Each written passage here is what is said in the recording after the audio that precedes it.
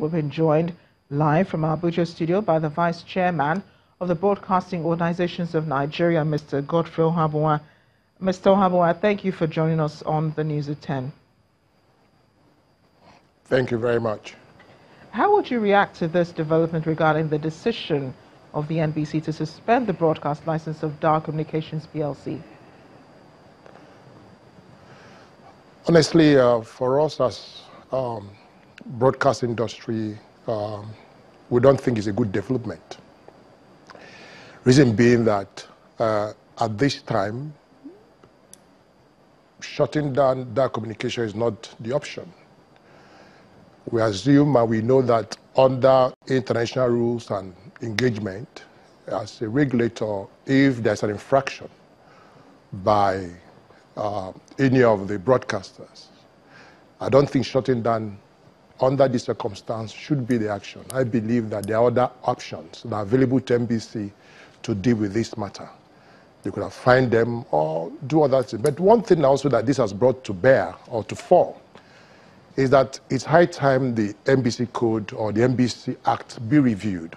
As you know, the NBC Act is presently in the National Assembly, and I think that one of the things that should be taken cognizance of or should be put in that new act or reviewed act is that there should be room for appeal. Because even in any legislation, in any law, people have a reason to have opportunity to appeal. So if an infraction happens, a decision taking like this kind of decision is hard.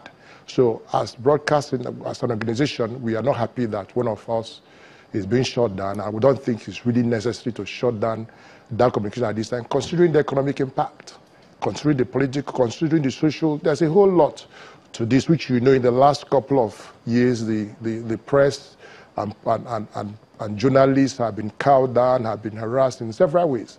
So doing this now will give teeth to something that I think is not right, not at this time at all. Nigeria is not in a position to go through this kind of trouble now. This is probably the last resort for the NBC. And you did speak about other processes that the NBC could have explored. What would they have been? Yes, one is that NBC could have fined them as an option. But shutting down is not an option. what I mean, what do you shut down? What do you gain by shutting down a, a TV station?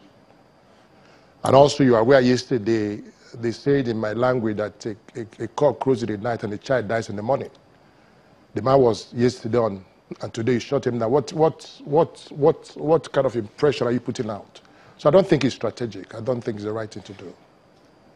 Mr. Ohabunwa, thank you so much for speaking with us on the News at 10.